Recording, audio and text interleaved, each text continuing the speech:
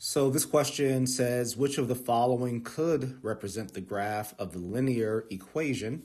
Anytime an equation is provided, I like to write it down. So our equation here is y equals mx plus 3, where m is a positive constant. So we know that m is greater than 0.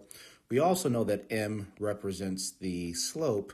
So if we have a slope that's greater than 0, we expect our line to go up and to the right, right? We expect our slope, which is rise over run, to be positive, right? Rise is positive, and a run to the right is positive.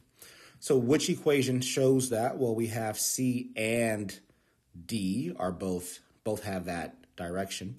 But what else do we know about this equation? We know that our y-intercept, right? Because again, this relates to the equation y equals m x plus b. So we know that the b value here is equal to 3. Again, b represents the y-intercept. So the y-intercept should be a positive 3. So we know that a and b are gone because the lines are going in the wrong direction.